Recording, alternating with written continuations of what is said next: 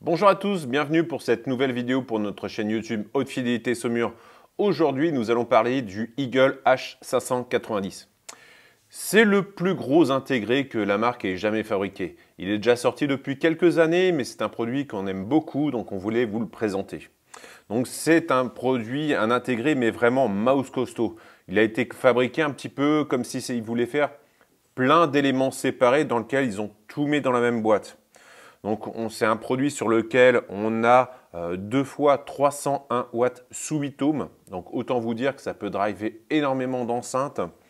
Euh, c'est un double mono et c'est un produit tout en un. C'est-à-dire que en fait, vous pouvez vous suffire de ce produit-là.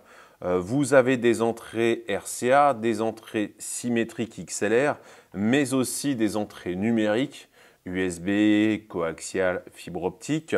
Euh, mais aussi il fait le lecteur réseau, c'est-à-dire qu'avec une tablette, avec la musique en streaming, vous allez pouvoir tout faire avec. On va regarder tout ça en détail. C'est parti.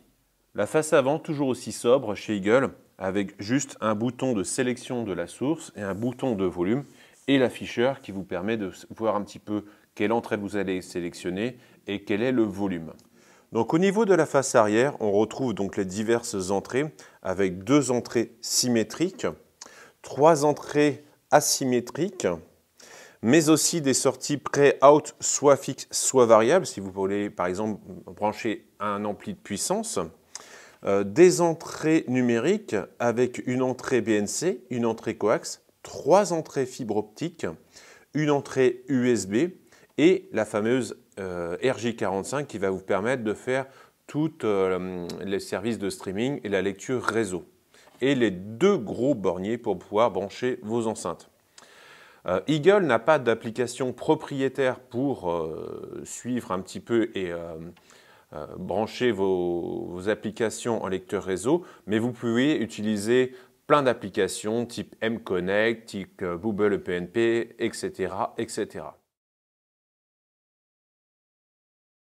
Donc vous voyez à l'intérieur, c'est vraiment très bien construit, un énorme transfo, des condensateurs vraiment énormes, la carte électronique, tout séparé en double mono, on est vraiment sur quelque chose d'ultime.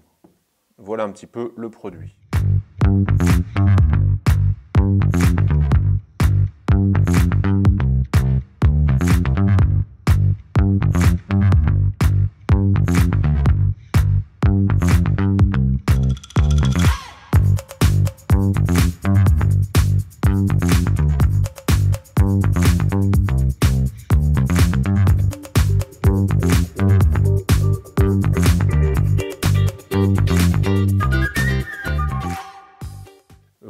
Nous venons de raccorder notre Eagle 590 sur une paire d'avant-garde Uno Fino.